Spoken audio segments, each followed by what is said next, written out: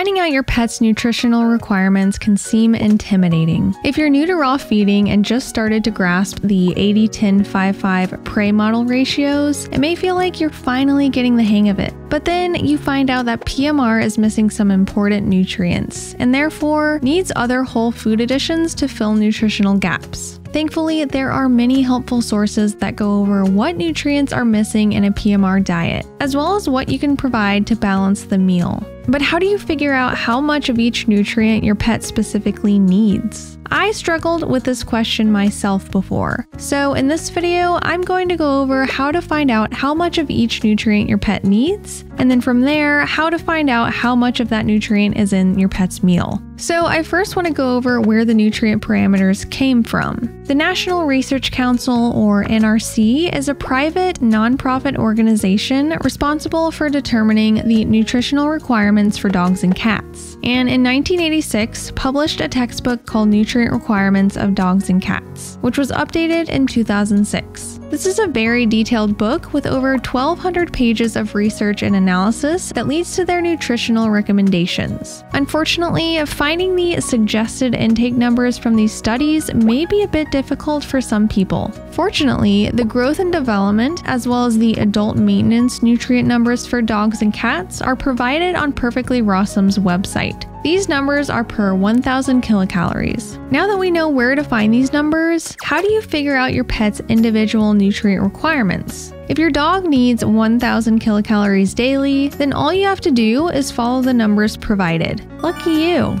But if you have a pet that requires a lot less or a lot more calories than this, the amounts need to be adjusted accordingly. Thinking about doing the math might feel a little overwhelming, but it's actually very simple. This is where your phone's calculator comes in handy. If you don't know how much calories your pet needs, I have a video that gives you an example on how to figure this out, and I will link this in the description. I want to note that these numbers don't have to be precise all the time, and in many situations may change depending on your pet and their activity level that day. So, my dog Matsu needs around 680 calories a day. Let's say I want to find out how much zinc he needs daily. Per 1000 calories, the recommended daily allowance of zinc is 15 milligrams for adult dogs. To find out how much Matsu needs, I'm going to divide his daily caloric intake by 1000. This equals 0.68 or 68%. Now, all I need to do is multiply that by 15 milligrams. This means that Matsu's recommended daily intake of zinc is 10 milligrams when rounded. Once you do this with each essential nutrient, you just need to see how much of each nutrient is in the food item that you're feeding. One of the best websites to find this out is Food Data Central. Search all of the foods that you're feeding and make sure when you're entering in the meat, you specify that it's raw.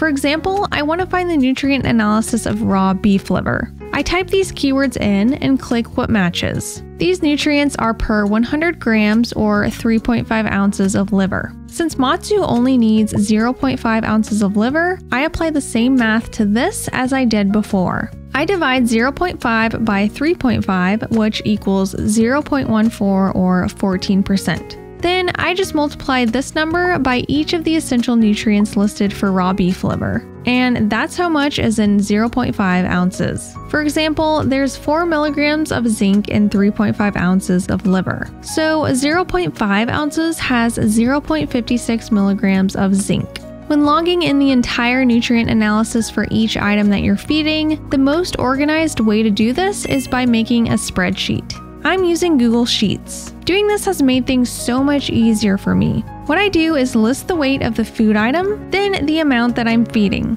I then list out the nutrients of this item provided by Food Data Central. Now that this is all laid out, I need to find out the percentage in decimal form of the item that I'm feeding from the total amount listed by Food Data Central, just like we did earlier. Finally, I just multiply all of these nutrients by that percentage. You can then save some time by letting the spreadsheet autofill the rest of the nutrients for you. Just make sure to add dollar signs to the cell that has the percentage so it autofills correctly. My spreadsheet is just showing the micro minerals for the sake of the example, but once you enter in everything per the food's weight, you'll get the nutrient breakdown of your pet's meal and what nutrients might be low or missing. From there, you can enter in the fresh foods that you want to use to add these nutrients back in. For example, blue mussels for a manganese boost. While it's always good to analyze your pet's meals to see where you're at as far as nutrients and calories go, you don't have to do this every single meal. This is only a way to check yourself every now and then, or to make specific recipes that you can reference back to if you want to feed a balanced meal daily rather than over time. Watch this next video to find out how to calculate your pet's caloric intake.